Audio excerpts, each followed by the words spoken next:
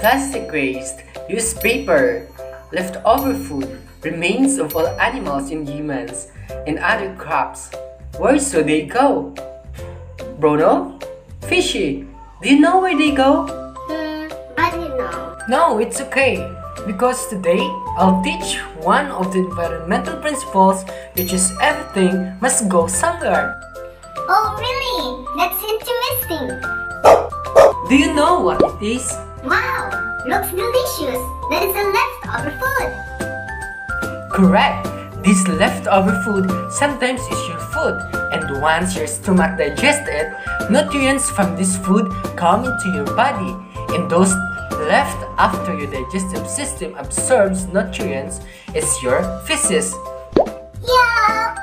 A leftover food also can be used as gas once it turns into methane after it decomposed.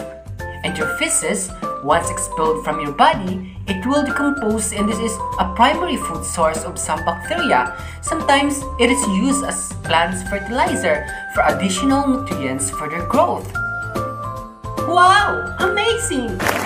Bruno, do you know what will happen to our bodies after we die? Hmm, it will decompose. Yes, correct! With the help of nutrient cycle, the benefits of the cadavers to the soil are multiple and they support other creatures in the whole ecosystem.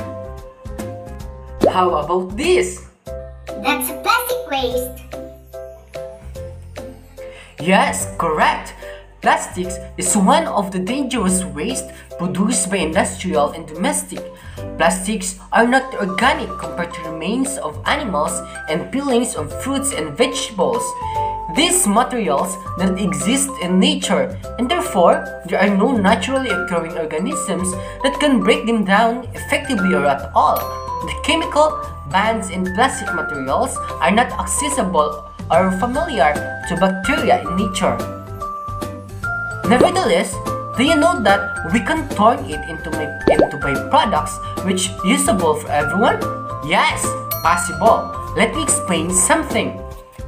Plastics is everywhere. This plastic waste is highly recyclable. Plastic bottles from soft drinks and any plastic waste can be recycled into Christmas lanterns, flower vase, pencil case, basket, and shining shimmering house decor, and many more. And you know what is interesting? Our fishermen use empty bottle as fish aggregating devices to attract fish. As a matter of fact, NGOs and government working together to beat plastic pollution in the Philippines. By doing recycling, we can preserve our ocean and protect marine life against serious damages when it comes to their health. Don't let plastics go somewhere like our oceans, our rivers, and lakes. Rather, we must practice, reduce, reuse, and the most important, recycle. Our planet Earth is our responsibility. Wow, that was amazing! I've learned a lot from you, Marky. Bruno, can you summarize what we discussed today?